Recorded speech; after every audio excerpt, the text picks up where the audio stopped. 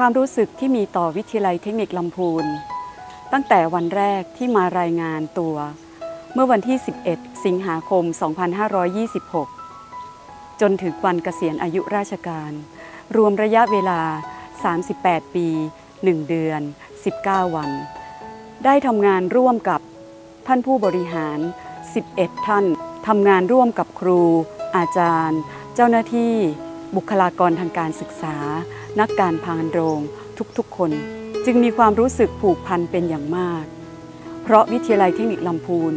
เป็นสถานที่ทำงานแห่งแรก และแห่งสุดท้ายของการรับราชการครู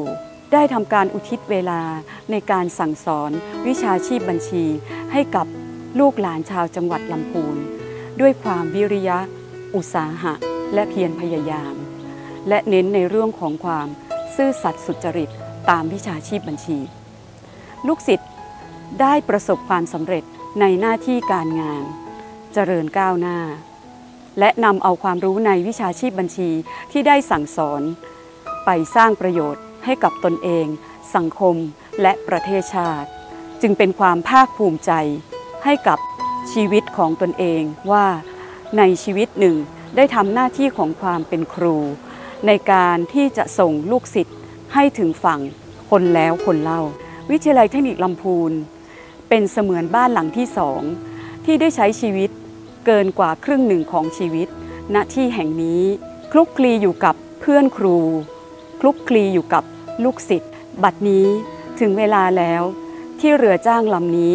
จะต้องวางพายลง แต่อย่างไรก็ตาม ความรู้สึกดีๆ ที่ได้รับจากเพื่อนครู และทุกๆคนจากวิทยาลัยเทคนิคลำพูน จะประทับอยู่ในใจและความทรงจำของครูเพนการุณคงสิริวัฒนาตลอดไป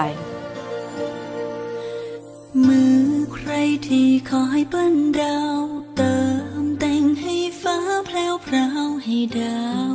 ทุกดวงได้เปล่ง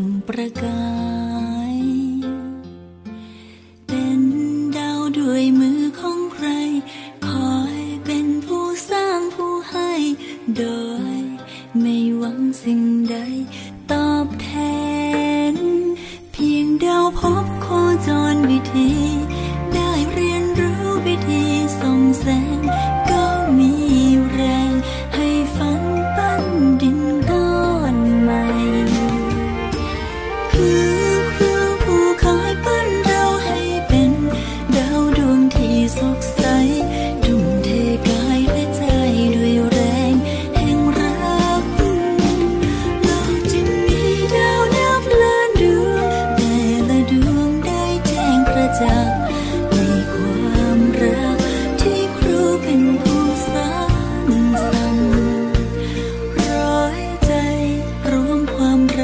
ากลาแทบเท้าร้ายดาเป็นมลัยมาคล้างใจครู สองมือครูที่ทำให้โลกน่าอยู่กลายเป็นสองมือ น้องก้กราบครูผู้ให้ชี